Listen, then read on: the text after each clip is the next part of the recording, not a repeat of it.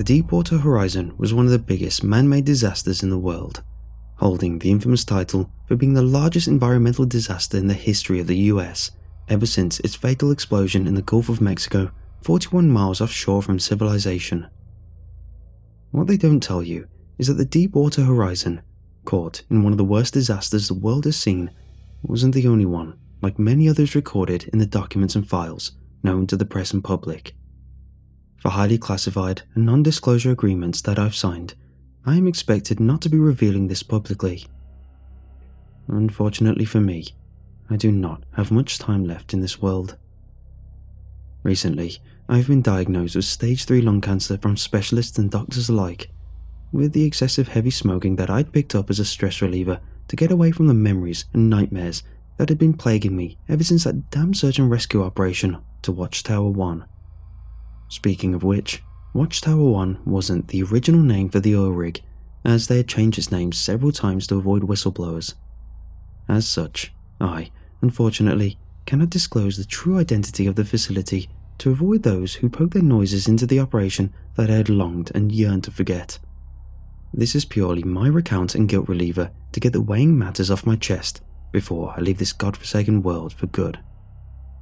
You see, on November 4th, 2018, I joined the CDC, also known as the Centers for Disease Control, with the mindset and pretext that I would be of aid in curing diseases, giving medical attention, and relaying medical supplies to those who are living in disease ridden third world countries. For the first two years, that was the case. Paving my way through college and earning my biomedicine degree after the army, naturally, the CDC seemed like a good job offer to take up, with it being the apex of healthcare professions after my graduation. When they had accepted my job application, I was thrilled to say the least. Nonetheless, I would not be working for them as a standard health scientist, during which I was informed that a field in the CDC was lacking in manpower and workers, demanding that if I were to take up the job offer, I would be part of a security task force team specializing in crucial search and rescue missions and escort of personnel from the CDC and civilians alike. It wasn't the kind of work that I had in mind when I joined the CDC, but it was a high paying job for a beginner like me at the time, so I just thought it seemed like a good job offer, with the encompassing fact that I had been training and serving in the military, so I was pretty well suited for the job. The third field assignment that I had received earlier came with skepticism. Codename Operation Hammerdown. Alongside with my team of five personnel in total, consisting of four security officers and me, was supposed to receive a distress call coming from an offshore deepwater oil drilling rig, also known as Watchtower 1 in the Atlantic Ocean, to rescue and secure two geneticists and the rest of the rig personnel who were on board at the time of a seemingly aggressive encounter with an unresponsive mutilated figures coming on board the platform from the vessel that has been seen to have fatal injuries covering the entirety of their bodies, exhibiting rabid and hostile behavior in terms of jerky and shuffling motions towards the crew. Those who had tried to establish physical contact with the figures have been seen to also exhibit sudden violent and aggressive tendencies within a couple of minutes, and therefore have been quarantined and separated from the rest of the crew on board. The massive scientific research vessel had coincidentally crashed into the drilling rig during a hurricane like storm in the sea at 2200 hours and had gotten stuck and lodged into the pillars, as documents and recorded information about the call states. The distress call came in at around midnight, as the connection had abruptly halted from unknown reasons, possibly from the storm itself. Gearing up my issued equipment and loading a fresh magazine into the M4 carbine, I strapped and tightened the bulky black tinted gas mask around my face as I donned a heavy, yellow rubber hazmat suit with an accompanying tactical vest at the outside, strapping considerable lengths of heavy duty duct tape around my wrists and legs and sealing them up to prevent air from entering and escaping. I exited the decontamination chamber, drenched in the cleansing water and the heavy downpour of the rain as the roar of the Black Hawk helicopter greeted me as it resounded throughout the slippery landing pad, with occasional thunder that boomed in the distance. The rest of the security team waved to me, all clad in the same yellow protective suits, sitting in their respective seats. Upon boarding the helicopter, the ground crew outside gave the helicopter one last exterior check before giving an all clear thumbs up to the pilot and co pilot before shutting the metal door in a quick and swift slam, locking it into place. Torrents of raindrops the size of bullets pelted the top and sides of the helicopter vigorously, sounds of their impact drowned out by the blade of the helicopter as it gradually hovered above the ground before taking off. Call signs, background static, and garbled voices chattered over the communications radio built into a hazmat suit as the shaky chopper ride to the oil rig was carried out mostly in silence, apart from the constant droning of the radio and the howl of the helicopter blades. I thought that our weapons would protect us. I thought that this mission was just a simple extraction operation. I was so wrong. Rudely stirred from my short power nap by the shrill announcement of the pilot implying our arrival, the helicopter shuddered against the force of the unrelenting downpour of rain. Stealing a glance at the electronic clock hanging on the wall of the helicopter, it read in brightly lit red numbers 3:23 a.m. The exterior window of the helicopter was covered in a thick layer of water, as the world outside the helicopter was shrouded in vast, thick, and black void, with nothing except the mesmerizing wave stricken ocean as far as the eye could see through the dense curtain of rain. Vulture 2 2, platform coming into view, feet dry in 20 seconds, the pilot radioed. The surrounding void of darkness engulfing the sea gradually became brighter and brighter as a massive behemoth of a structure seemingly rising out of the sea, came into view outside the blurry, water splattered window. Ah, we have non visual status on personnel in the rig. Break. The words came over the radio, slow and drawn out, as the helicopter circled around the brightly lit drilling rig with a massive, visible black reefer vessel half sunken and stuck into two of the platform pillars, causing it to slightly bend and tilt over to an unstable angle. My jaw hung agape as another unsettling image of the rig soon came into view, this time at the landing pad.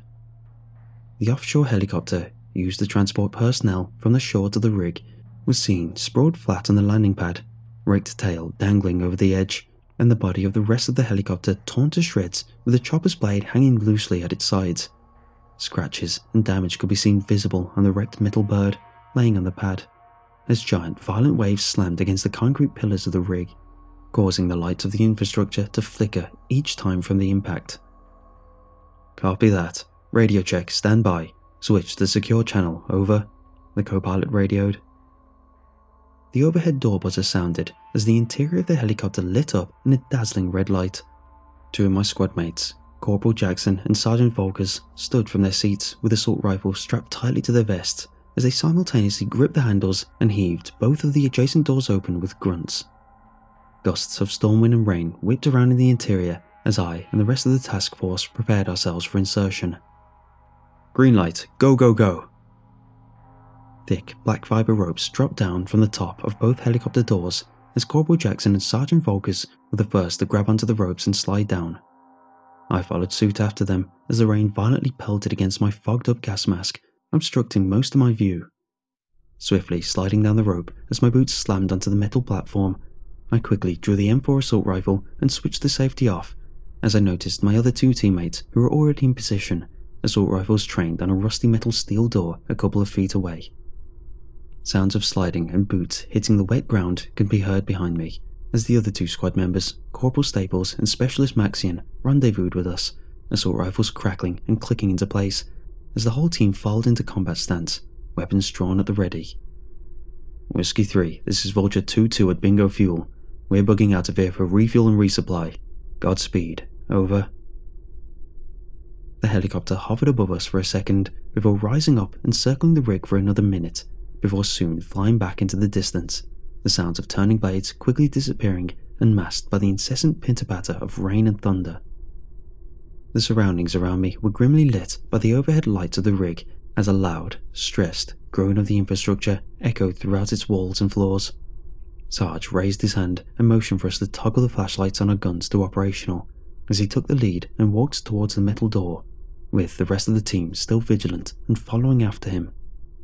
Approaching the worn down and corroded metal door, we stepped aside and divided ourselves into two sections, each on either opposite sides of the door, and pressed against the grime coated wall, awaiting further instructions.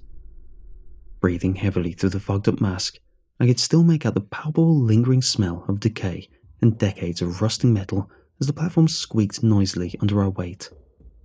Sergeant Volkers motioned the countdown with his gloved hand, mouthing the numbers whilst carrying his rifle in the other hand, as we mentally steeled ourselves for a breach into the facility. On my mark, three, two, one, breach. The metal door flew forcefully open on its hinges with a slight dent in its body from Sergeant's leg kick as we noisily chambered through the doorways, guns and eyes transfixed on the front as everyone piled into the small corridor, dimly lit with constant flickering of overhead lights. Room cleared. The small corridor, basked in yellow green hue by the lighting, led to a metal grated flight of stairs leading downwards as we cautiously stepped over the debris strewn flooring, the sounds of constant dripping rainwater leaking from the metal walls fading into the background as I followed behind Sergeant Volkers, with the rest of the team trailing in a single file after us.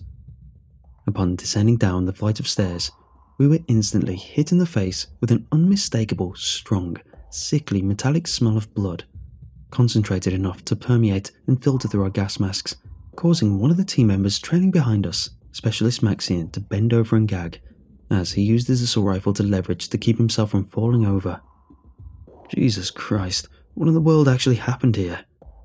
Specialist Maxine remarked through the radio, the distinctive sounds of his coughing mixed with the fuzz and the white static emitted through the speakers. Clenching the weapon tight in my hands, I shone the flashlight attached to the barrel of the gun onto an unlit section of the corridor, with the beam of the light falling upon a frame of a person dressed in a matching orange reflective taped jacket and pants lying against the wall. I momentarily stopped in my tracks as I stared in shock at the scene that lay in front of me, dread gripping tightly at my sides. Figure spotted, 11 o'clock, I briefly announced, stepping towards the figure, weapon still drawn and aiming down at it with a barrel flashlight. Advancing towards this person, I noticed that the surrounding walls and floors he was lying in were coated in a sickly crimson red liquid, and the sickly smell of blood growing more and more concentrated, the lingering, oppressive feeling of dread growing densely in the pit of my stomach the closer I stepped, the sounds of my boots softly clanking against the floor. The rest of the team stuck behind, guns trained on the body. Sir, are you alright? I kneeled down and gripped his shoulders as I gently shook him, the rifle clutched in my other hand. No response. As I slowly tried to lift up his face, I held one gloved hand around his chin for better support as I repeated my question. Sir, do you. Oh my god. I recoiled backwards in disgust and terror, letting go from his chin as he limply slumped back forward, hordes of tiny, wriggling maggots and brownish red liquid dribbling out from his mouth and onto his lap as they wriggled about vigorously in protest to the beam of light that shone upon them. What the hell? What the actual hell? What happened to him? Corporal Staple said in disgust through the radio, his expression turning sour eyes glued upon the dead body lying in the corridor. Sergeant Volkers exchanged glances with Specialist Maxine as he inspected the dead body, leaning in for a better look. Poor guy seems to have died a long time ago, most likely one of the workers on board the rig. He said, bending over and picking up a small identification card that slung loosely around the worker's neck, examining it. Let's get moving. We've got business to attend to. After a couple of minutes of making our way to the end of the dimly lit corridor, we came across another huge metal door, this time with an accompanying faded label which read Cafeteria. I tried the greasy handle as the huge door remained wedged and locked tight. Suddenly, a shrill, feminine, ear piercing scream and animalistic howls could be heard coming from the other side of the door as soon as I tried to jingle the handle for the second time. I flinched by instinct as the whole team jolted weapons trained on the door. But as soon as the chilling screams and howls resonated through the corridor, it had stopped as quickly as it had started. Hello, miss, please respond. We are here to help you. I shouted through the metal, holstering my weapon as I cupped my hands against the door to amplify my voice. My pleas for a verbal response came empty handed as the muffled sounds of shuffling feet and slow metal scraping against the floor could be heard from the other side. Damn, we've got to get to her. She might be injured. Corporal Jackson said beside me, stepping forward as he lifted the barrel of his rifle and aimed in the direction of the metal handle. Breach. Four quick and loud gunshots rung out from the muzzle of his barrel as it illuminated the cramped corridor around us in dazzling bright yellow flashes. The sparks flew from the handle itself. The heavy metal door swung wide open after two consecutive kicks, and we quickly filed into the pitch black cafeteria through the doorway, breaths panting as the beams of light from our weapons shook around violently in our hurried states. As we fully composed ourselves and calmed down, the entire cafeteria became eerily quiet. Apart from the muffled thunder outside and our breathings through the masks, we scanned our flashlights around in the pitch black room in search of the source of the screams that came earlier.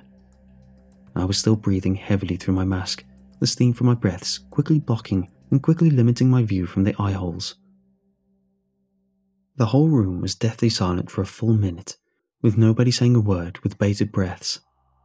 We stood in our positions and used the narrow beams of our flashlights to scan around and illuminate the surroundings as light fell over a scene of broken tables, twisted metal chairs, and shattered coffee mugs. Suddenly, quick dozens of flashes of motion were caught in the corner of my vision as I jerked around with my flashlight, trying to get a glimpse of whatever was in the room with us. The beam of my flashlight shone around wildly from one spot to another, where I'd last seen the movements. Hello? Is anyone there? Specialist Maxine announced loudly into the room, but before he could finish his sentence, his entire body was abruptly caught by a darting figure lunging onto him from behind and propelled both of the bodies forward into the darkness, causing him to drop his M4 onto the floor and killing the flashlight from the gun. Help me, I can't see him, get it off of me! His cries for help screeched in the pitch black distance, as suddenly deafening sprays of gunfire erupted from my right, as another one of my fellow teammates, Corporal Jackson, opened fire blindly in the general direction of a sudden figure that had dashed past his beam of light. Contact, he quickly yelled, Sergeant Volkers and Corporal Staples started wildly opening fire as well on several other figures that had quickly run past their lights, causing the entire cafeteria to momentarily light up in a blinding mixture of yellow and white flashes. Time seemed to crawl to a halt as I blanked out in the heat of the moment, the gunfire flashes irradiating the attacking figures as I caught a glimpse of their misshapen, malformed bodies, similar to that of burned victims, with brownish red spittle flying out from their jaw that hung at an unnatural angle. What are we fighting? Corporal Staples yelled in panic whilst blindly shooting, as his entire body was abruptly grabbed onto and yanked forward into the darkness, his desperate screams for help muffled in the deafening background gunfire. Snap out of it, we've got to get the hell out of here, Sergeant Volkers yelled from the left as he started sprinting back towards the metal door with Corporal Jackson hot on his heels, turning around for the last time and firing back into the inhuman screeches and howls of the figures. There I stood, both feet frozen to the ground in shock and fear from the events that had unfolded right in front of my eyes, as the gruff command from the sergeant snatched me out of my trance. I considered helping my other two teammates for a second before silently uttering an apology and ran after Jackson and the sergeant back through the metal doorway.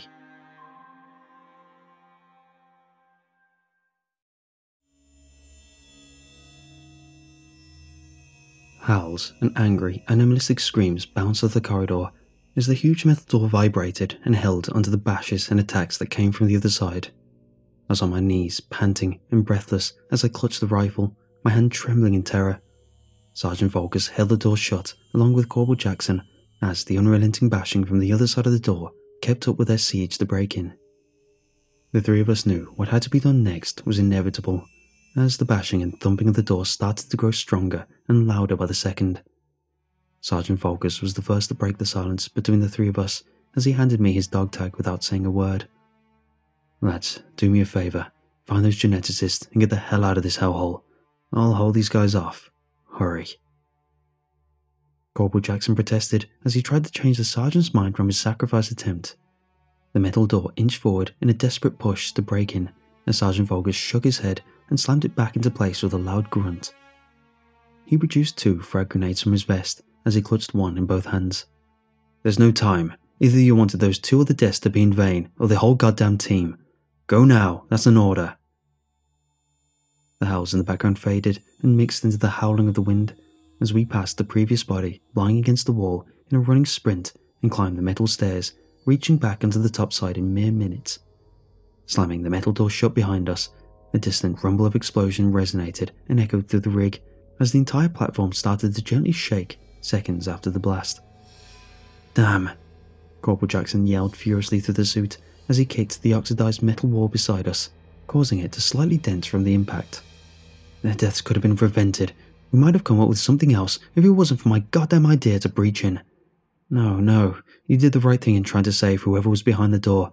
That was the original mission for the entire team.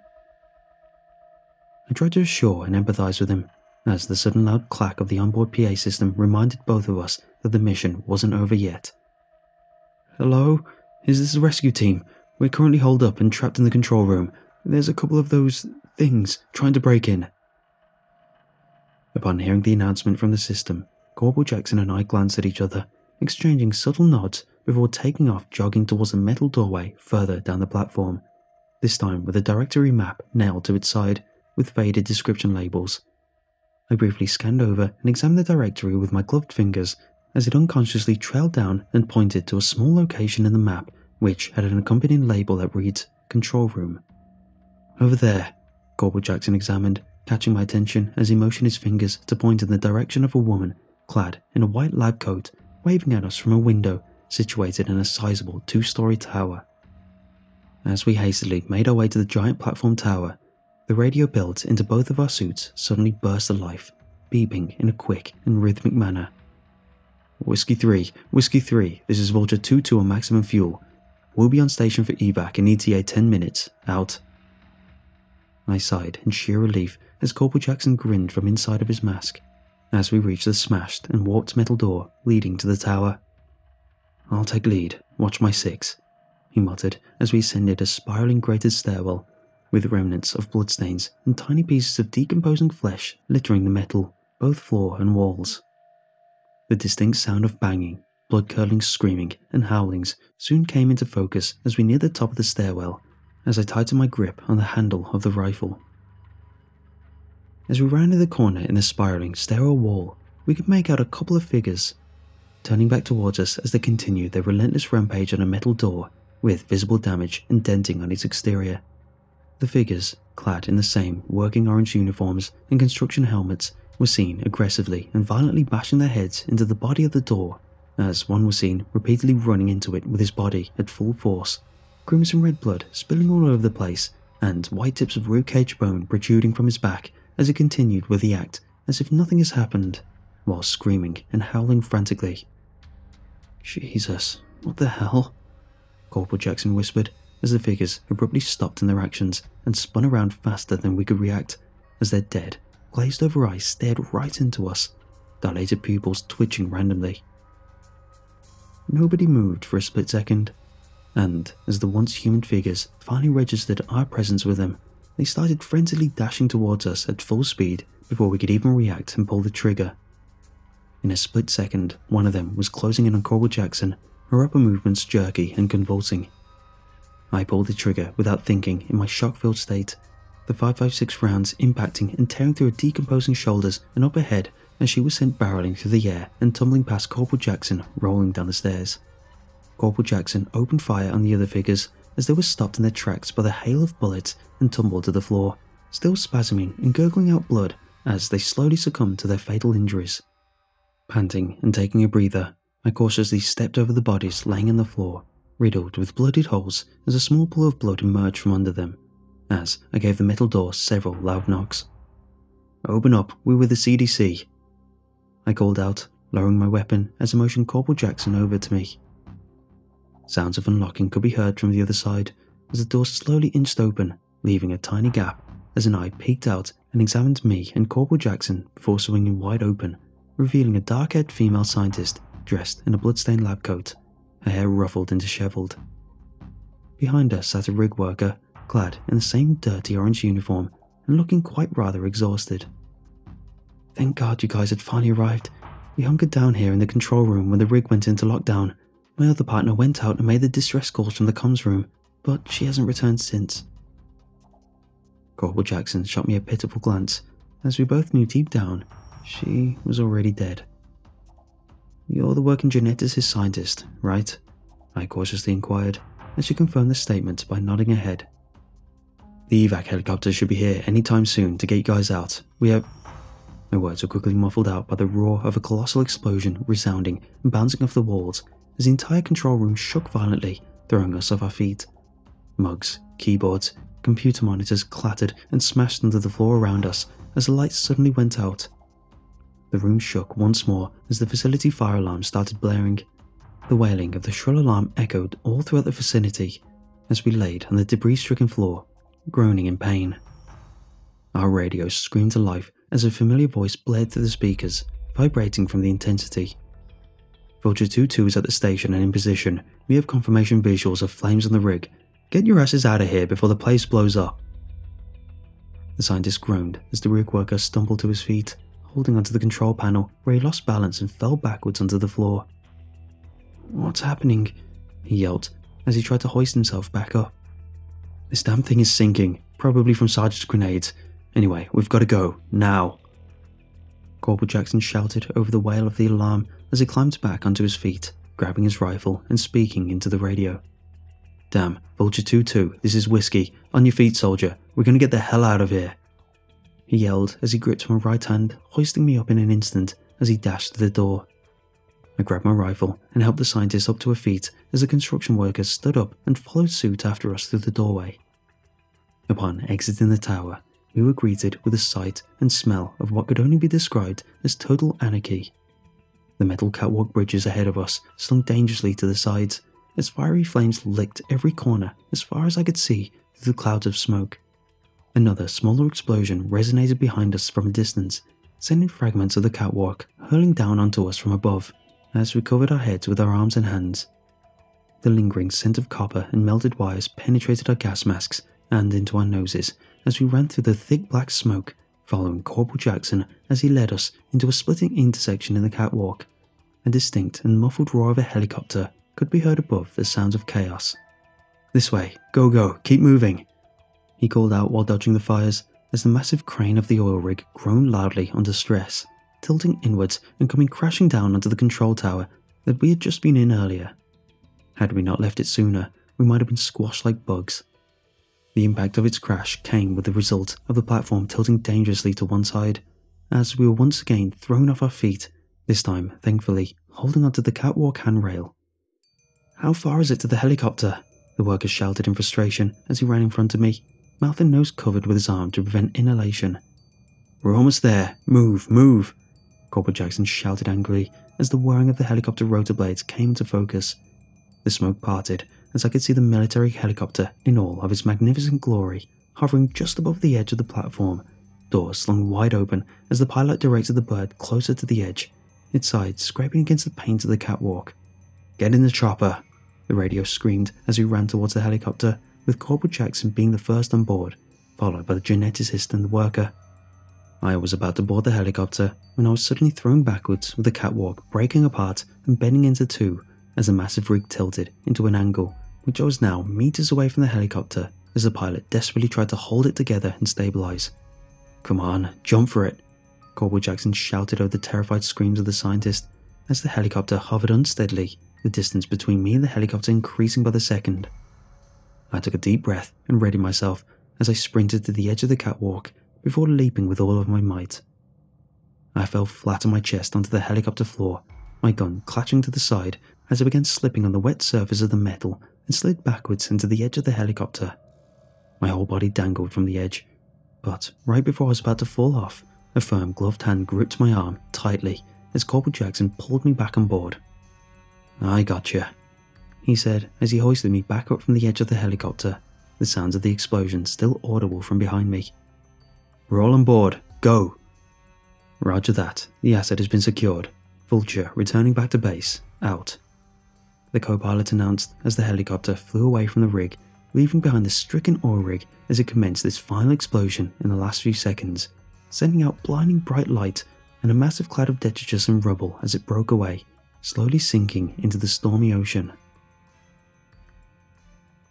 It has been 19 years since the dismissal of the offshore disaster as a freak accident. The government covering up the whole story as just a malfunctioning drilling system going awry on board. I left the CDC and my whole life back there behind for good, given the NDA slip that has kept my mouth shut and prohibited me from even hinting at the existence of this story. My contract has already ended four days ago, and I've been debating whether to reveal the story or not from there ever since. Some things in the world are just not meant to be discovered, and we should just remain blissfully unaware of the hidden dangers that lurk in our very planet. I just hope in my heart that the poor souls on board the rig during that fateful night rest in peace under the sea, alongside with Sergeant Volkers, Specialist Maxian, and Corporal Staples. That is all that I have for you, and whatever that you do, please don't go searching for Watchtower 1.